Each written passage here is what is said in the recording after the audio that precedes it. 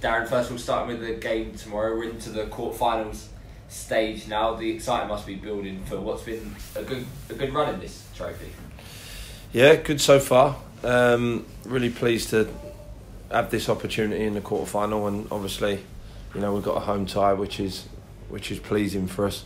Our home form's been good. Um, I've got a bunch of players that are desperate to play. Obviously, there's been well documented frustrations lately with the weather and the pitch and that. So, all being well and the game goes ahead, I've got a hungry group of players that are looking forward to getting out there. A team not to be underestimated in Halesowen who have beat beaten a couple of uh, National League sides in their run so far. What are you expecting from them? I've seen a lot of footage. I've had people watch them of late. Um, they're a good side. They're on a very good run, uh, doing very well in their league. Um, no chance of me ever disrespecting a, an opponent or underestimating an opponent. Um, throughout, even my short time in charge here, we've been the favourite and the underdog. So I'm very aware of how the, the game can potentially play out from both sides. So you know we're we're fully focused on how difficult the game is, and you know we we're fully prepared for it and looking forward to it. We head into this one off some decent form. Uh, how's the team preparation been going into this one? Like I say, it's probably frustration is probably the word at the minute because you know when the, when the team's in a in a good place, which they are at the minute at the minute, they're all looking forward to their football. You can you, you just get that feel around the, the camp in training. Um, the mood's been good, the intensity in training's been good, um, and they want to play. And there's there's nothing more pleasing as a as a manager than having a group of players that are desperate to play.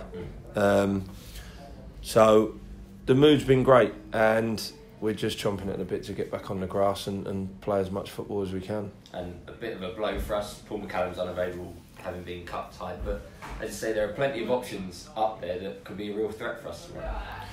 Listen, it, it, it is a blow because you know I feel for Paul. He's come through the door. He's he's had his impact that he's had with his goals and whatever, and he's he's definitely contributed to us.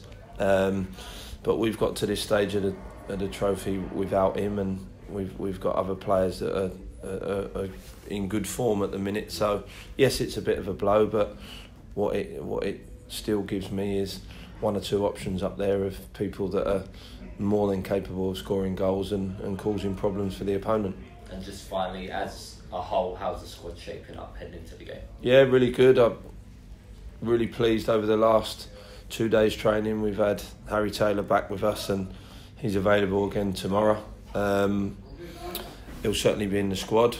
Whether we use him or not will still be a decision that I make tomorrow. But he's certainly in the squad, so really pleased to have him back in and around us because he's been absolutely outstanding this season. So I'm pleased for him as well because he misses his football.